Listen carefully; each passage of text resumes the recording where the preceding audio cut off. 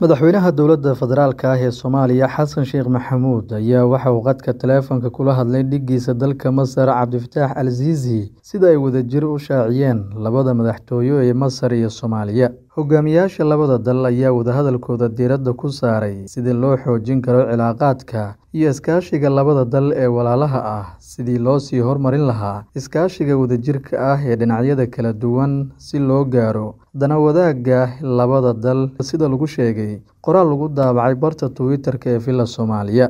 Dhanka kale, afhayeenka madaxtooyada dalka Masar, Danjire Bassam Raadi, ayaa xaqiijiyay in uu madaxweyne Al-Siisi telefoon ka helay dhiggiisa Soomaaliya Xasan Sheekh Maxamuud, isagoo sheegay in labada madaxweyne ay guul ka gaareen wadahadalkooda. Xiriirka Soomaaliya iyo Masar ayaa aad u soo hagaagay dhowrkii bilood ee la soo dhaafay kadib booqasho uu madaxweyne Xasan Sheekh Maxamuud ku tegay magaalada Qaahira ee dalka Masar. Soomaaliya iyo Masar ayaa xiriirkooda mugdi galay intii uu Soomaaliya madaxweynaha ka ahaa Maxamed Cabdulaahi Farmaajo, oo Masar ay u arkaysay in uu ka xigsaday Itoobiya oo ay ku xilfiltamaan Geeska Afrika iyo Webiga Niil. Maxamed Cabdulaahi Baxnaaniye, C B A, Muqdisho.